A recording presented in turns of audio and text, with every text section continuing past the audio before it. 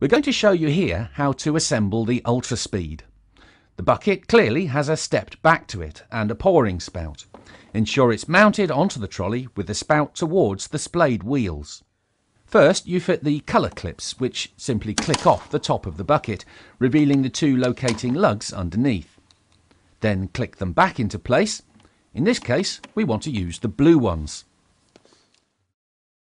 Place the levered wringer on the back of the bucket, the non-spout side, taking care to position the handle to the front of the bucket.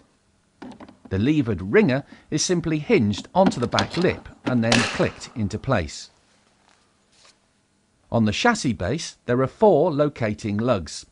Lift the bucket and place it firmly until it clicks into place on the chassis. Here you can see the handle is to the front and the wringer handle is to the back of the chassis. The mop handle is simple to assemble. Remove the clip and remove the screw collar. Put the screw collar onto the handle and slide it down. Put the mop frame onto the handle and align the hole in the frame with the hole in the handle. Once aligned, replace the clip and tighten the screw collar while holding the mop handle. Now fit the mop pad to the mop frame.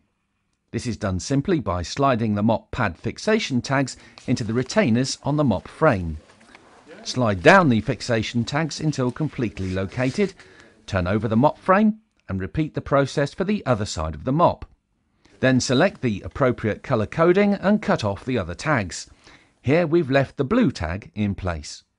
Lower the mop frame and pad towards the floor and press down the handle until you hear the frame click closed.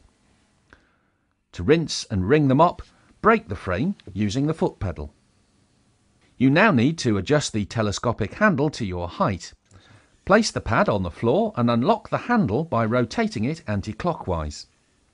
Standing upright, extend the handle to the height between your chin and nose. Lock the handle in place by rotating it in a clockwise direction. Select the relevant color-coded clip for the cleaning area and click onto the handle. You can then clip the mop handle to the UltraSpeed. To use the UltraSpeed, ventilate the area and place your warning signs. Having filled the bucket with a maximum of 10 litres of warm water and chemical if required, immerse the mop pad into the solution Remove the mop pad from the solution and enter it into the levered press, making sure you align the centre guide on the mop frame with the guide on the mop press. Push the mop frame downwards and press the lever to wring the mop pad. Release the lever and remove the mop frame from the press. Place the mop frame and pad on the floor and press down on the handle until you hear the mop frame close. Use in an area of 50 square metres, that's about 10 paces by 5 paces. Start to mop the floor, cleaning the edges first. Fill in using a systematic figure of eight pattern.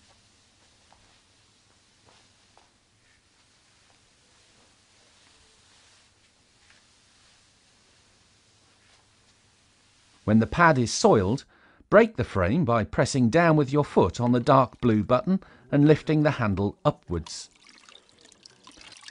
Rinse the mop in the solution agitating slightly to remove loose dirt and debris.